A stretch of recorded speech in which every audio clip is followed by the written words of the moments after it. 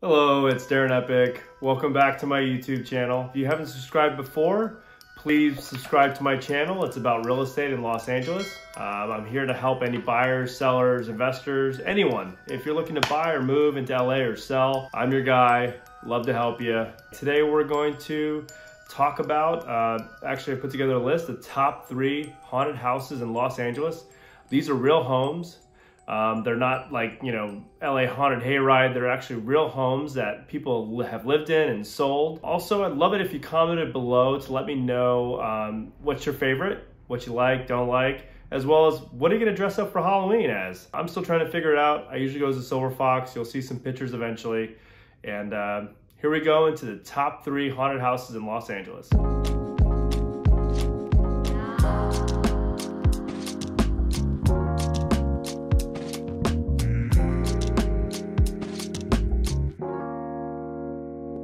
Number three, the Greystone Mansion, which at the time was called the Doheny Mansion. Uh, oil and gas tycoon, super, super rich individual named Edward Doheny built a 46,000 square foot mansion for his son Ned. Um, it was built on 429 acres on top of the Beverly Hills and Trousdale Estates. Beautiful property, which actually today is owned by a state park, uh, or is a state park owned by Beverly Hills. But at the time, it was built for $4 million. Um, in today's money, you're talking about $50 million. So insanity. But this is, you know, what happens with the rich. They, they have the money to spend and they go for it. What happened there is unfortunate. Um, there's been a book written about it called Ghost of Greystone, but basically the house was completed in 1928. Ned and his wife Lucy moved in the fall of 1928. They celebrated Christmas there with their children. And then February 16, 1929, uh, Lucy heard shots in the east wing or another side of the house. Uh, and then they found Ned and his assistant secretary's body, Hugh Plunkett, uh, both there. Um, so they were, they were both murdered. We don't know who shot who, if one shot one and then killed the other, or killed himself, or was a suicide, a murder suicide. We don't know. Over the years, as the Ghost of Greystone book, I guess, uncovers, but also others have been noted to say, workers and people over the years have lived there, uh, they've said they've seen a man in a black suit or a, a, spirit or ghost or visually it looks like a man in a black suit. Also, they've said they've seen a woman in a dress and smells of perfume or they can smell perfume in the area um, or whisk past them. Um, very odd, very disturbing, very creepy. I don't think anyone's ever been harmed, but I haven't really read the book. But very eerie. I mean, to visit that place, it's 46,000 square feet. Uh, I definitely couldn't do it at night. Um, it's why it's number three on my list and quite disturbing. Number two, the Sowden House, or as some people call it, the Jaws House. Designed in 1926 by legendary architect Frank Lloyd Wright, this house is amazing, incredible, unique, Mayan uh, inspired, if you will, architectural, just beautiful, unique, and exceptional. That's about the most positive things that I can say that is associated with this home because everything else is quite disturbing. Like I said, the house was built in 1926. 1945, Dr. George Hodel moved into this property. A uh, very unique, odd individual with his wife and kids. Uh, he was a physician uh, very tied into you know hip and celebrity type types in Los Angeles or cool hip Angelenos. Love to throw hedonistic parties. You know, a little bit of drugs involved, which is kind of on par or on brand for Los Angeles, if you will. There must have been a lot of interesting shit going on there because this gentleman, or non-gentleman, uh, Dr. George Hodel, in recent years has been suspected to be linked to the murders of Black Dahlia, uh, Elizabeth Short. Also in 1949, his his daughter ran away from home because she said she was being abused and had been raped at one of his parties. Apparently, he liked to take his children downstairs into the basement and beat them. Uh, and of what so much, you know, uh, what else would have happened? Dr. George Hodel, after all these accusations and his daughter running away and come back home, apparently of rape, etc., was acquitted. But he decided to sell the home and flee the country. Years go by, you know, other people live there. Uh, Dr. George Hodel dies in 1999. Uh, the story goes that his son Steve, who's a retired LAPD detective, uncovers some of his father's possessions. and sees a photo that looks like Elizabeth Short, aka the Black Dahlia. So he does some digging, he finds more photos, and then he starts, you know, kind of piecing it together that he might have been the Black Dahlia killer.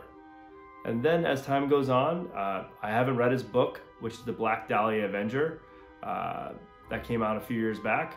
Um, but he kind of links that there might have been other murders that happened over the years. And he believes a lot of it took, took place in the basement of this home. Very disturbing. Black Dahlia, that whole thing is just on another level of murder. I mean, what he did to that woman was disturbing. And the fact that his his own son thinks he did it. I mean, even more so. So, Sowden House, designed by Frank Lloyd Wright. Uh, it's a beautiful home. People have always wanted it, loved it, bought it. Uh, even recently, a few years back, it sold for I think in the mid fours or 4.69 million um, in 2018, I believe it was. So if you want this house, I mean, obviously people love it enough to buy it, even with the history. Very odd, very eerie. Uh, if I did own it, I'd probably throw a Halloween party there or, you know, big events, but that's about it. I don't think I could live there. It just, it has a creepy element to it. Uh, then you throw in the basement and unique architecture, uh, and the Black Dahlia whole thing. I mean, that's just enough for you know someone like myself. I couldn't do it. Um, so number two, Sowden House, or AKA the Jaws House, designed by Frank Lloyd Wright. So number one, uh, probably the most infamous haunted house uh, ever in television. Um, so it's probably that's why it's probably number one, you know, on my list, as well as I've been there before. Is the Murder House from the FX series American Horror Story, uh, Murder House. This house was a big character in that show, but this house has been around since the early 1900s. It is a real house. Someone actually owns it. They bought it in 2015 for a little over $3 million. A couple did. Over a little bit of time, they've decided that they don't want to live there anymore because it's not probably the best place to raise kids. Um, they love the house. They still live there sometimes, but it sounds like when I did some research, uh, they lived there in the beginning, but once they started having some kids, they decided maybe we shouldn't live here. Maybe it's not the best place for a kid. In the nicest way possible, no shit. Uh, it's a freaking haunted house, not because of the show, but just because they said they always heard things. I mean, some people they've said went to work on the house when they bought it. They had to leave because they didn't want to work down in the basement to set up the uh, utilities and electrical. I mean, they would hear knocking at night. Uh, they dug up that they found out that it was a Catholic convent for like 60 years until 1997. They found out that people had performed exorcisms there. I mean, I was in the house. Downstairs, down the basement, it's scary as hell. I don't understand how you, I mean, if you look at it, you'll see the pictures. It's creepy. It's a, it's beautiful, but it's creepy. It would be very, it's very cultish, very gothic. Uh, very unique. I can see why they bought it, I guess, but it's definitely like better served as like a haunted house or filming location. Uh, but it's a real place. Like I said, they've said over the years they've heard knocking, noises. She's never seen a spirit, the owner, the wife. They said people have said they've seen what they think is an empty rocking chair or a butler coming down the stairs or a soft scream from a child you know, downstairs spirits. They don't think anyone's going to bother anyone, but if there's nuns that might have died there or exorcism performed by a, a pastor or priest, yeah, there's freaking ghosts there. So, besides the show, maybe watch the show, you'll see, but it's a real live home. I've been there. It made my hair stand up when I was there. Just every little thing about it is just cold and disturbing. And just, you just can tell that someone's died there, many people have. It's in Arlington Heights. It's in the middle of the city. Um, you'll see the address below, but there, there's some pictures here. Last year they did a Halloween like haunted house where you could actually go check it out. Um, I think now they're using it as a gimmick, but it is a creepy place. Um, so like I said, great place, but I wouldn't want to live there. In closing, uh, a lot of these homes, or all three of these, I mean, given what I know now, there is no way in hell I could live there. Beautiful homes, I could sell them. I would help someone buy them if they really want to buy them, or help a, a seller sell them because they are, you know, two of them are unique. I mean, obviously the Greystone Mansion you can't sell because it's owned by the city of Beverly Hills and it's a state park. Or, you know, maybe you could later, but probably not in my lifetime. Um, but the two properties, the Frank Lloyd Wright and the Rosenheim Mansion, I mean, or AKA Murder House, they're unique properties, but I'd maybe, you know, throw a party at them, uh, rent them out, use them as a filming location. Uh, I don't see how these people live there.